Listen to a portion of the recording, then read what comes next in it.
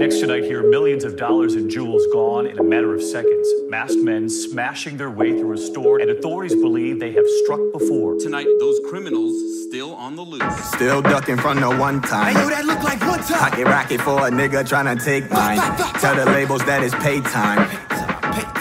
I think I'm worth a couple M's now. Uh, show me the money, no Jerry Maguire. Rapper for hire, neighborhood murder supplier. I been through that fire, but I flow like Poseidon. My squad is out beta, call me Marley Bin Laden. YouTube, what's happening? It's your guy Hitch, and we got another Jordan release that got mad names, and I love it. The last time we saw a dope Jordan release that had mad nicknames, it was the Red Cement 3s. Red Cements Unite threes.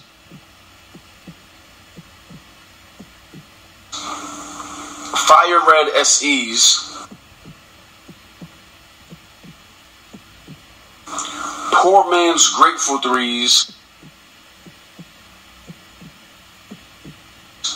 Toro Threes. Who cares what you call them? And I love that sneaker. This time, instead of a pair of threes, it's the four's turn. Now, just to give y'all a little bit of Jordan 4 history, back in 89, when the original fours dropped, they came out in only four colorways. You had the white cements, fire reds, the breads, and the military blues. Emphasis on white cements. Then in 99, when they retro the fours, they introduced a new colorway with the Oreos.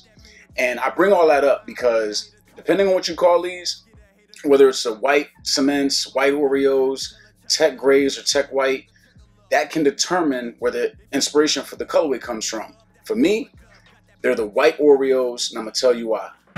Married to the money, I can't fall in love. Chase another bag. It's easy for me to call these the white Oreos because if you look at the original Oreos, you'll notice they just yanked off the black leather, replaced it with the white leather, and you got these, and they're dope.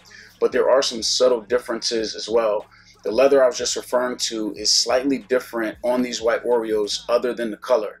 The leather is smooth, whereas on the original Oreos, they had more of a tumbled or wrinkled texture to them, very similar to the Columbias, which, by the way, I will not call the Legend Blues. Look like one time. Pocket rocket for a nigga trying to take mine. Tell the labels that it's pay time. I think I'm worth a couple M's now. When you look at the tongue area and the mid panels on these white Oreos, you're going to notice the white netting.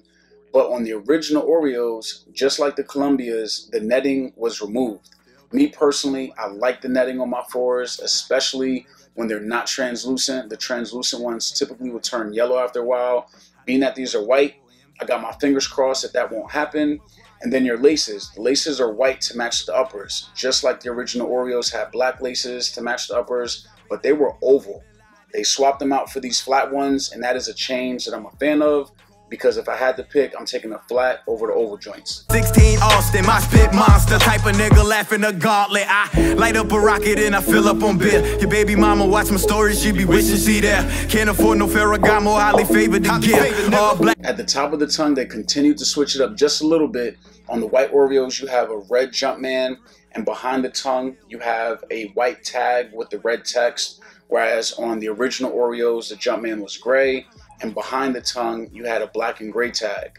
Now sticking with the inside of the sneaker i love this upgraded type of silky material that they're using for the gray lining along with the gray insole and red jumpman.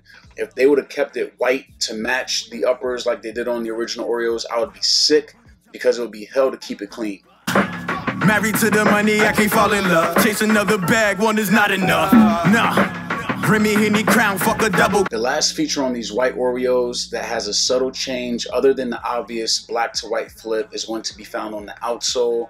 The outsole is finished off in white, but in the midfoot area it has a red Jumpman logo. That Jumpman logo on the original Oreos is done in gray.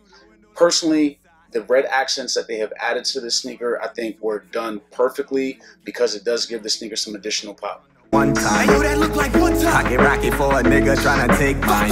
Tell the labels that it's pay time. I think I'm worth a couple M's now. Now I gotta come clean. I don't own a pair of the original Oreos or black Oreos, whatever you prefer to call them. So I can't confirm or deny if the gray on these white Oreos matches them correctly But guess what? It don't matter. The grade that they use on these were done very well in every area that they used them, from the lining to the insole to the Jumpman logo on the back. And you know they set it off right by putting the black speckles on the midsoles and on those eyelets. These white Oreos or white cement, tech gray, tech white, whatever you want to call them, are dropping Saturday, July 3rd for $190. And I personally think they're worth it. The leather is pretty, Pretty, pretty, pretty, pretty, pretty, pretty, pretty, pretty good. pretty good. The colorway is dope. And for me, these are going to be a go-to for the summer. And they're true to size like most Jordan 4s are. On a scale of 1 to 5, I'm giving these a 4.5. Yes, they're not an OG colorway, but Jordan Brand got it right with this colorway flip.